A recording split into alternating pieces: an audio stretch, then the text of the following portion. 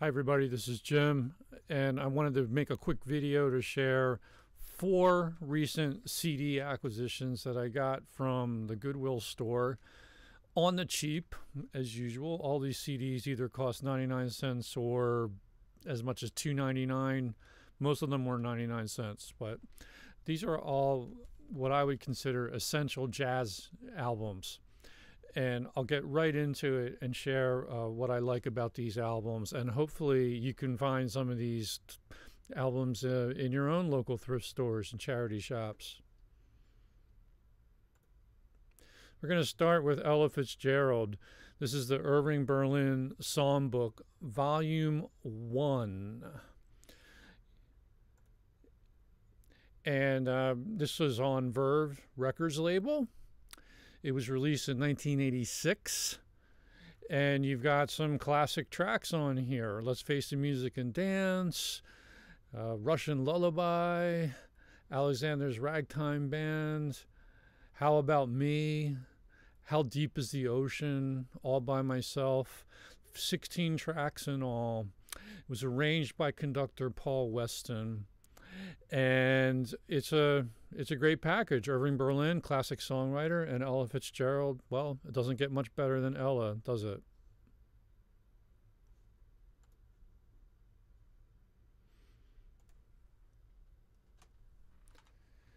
I found another Ella Fitzgerald album, the Cole Porter Songbook. This was volume two. I believe I already have volume one all of these songbook albums by Ella are worth hunting down for sure. This is also on the Verve label. This is the uh, remastered version. And uh, I actually think I like this one even better than the Irving Berlin songbook album. Uh, she just does killer versions of uh, Cole Porter. And uh, I think what she's great at doing in her styling is bringing out the uh, the nuances of Cole's lyrics, and uh, she she just delivers it so clearly that you can you can focus very much on the song lyrics, and that's what I think Cole Porter is all about. So some of the famous songs on here are "It's De-Lovely," "Love for Sale," "Night and Day," "I've Got You Under My Skin," "You Do Something to Me," and it just was a just enjoyable from start to finish. Uh, the, the tracks on this songbook album were arranged by Buddy Bregman, played by the Buddy Bregman Orchestra, produced by Norman Granz, and uh, really a wonderful, wonderful album.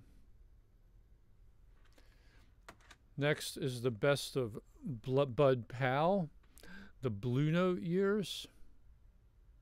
This one I think I found for it cost me two ninety nine. Some of the charity shops are uh, upping their CD prices, which is uh, I, I guess I wouldn't say it's concerning, but I'd rather pay ninety nine cents because uh, I don't know if it's a sign that CDs are coming more into demand or not, but still two ninety nine is a great price to get some classic jazz like Bud Powell. Uh, so it's on the Blue Note label. Uh, just wonderful, wonderful uh, versions of songs on here. It's a great compilation. Songs like the 52nd Street theme, Bouncing with Bud, Glass Enclosure, Blue Pearl, uh, Parisian Thoroughfare, and uh, what a brilliant pianist Bud Powell was.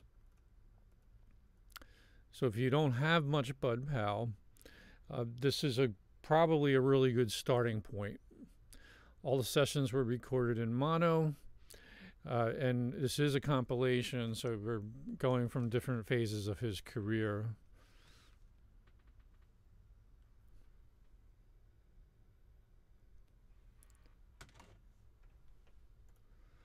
And then we have Charlie Parker, Bird.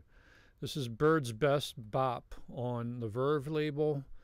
Uh, this came out in 1995 on CD.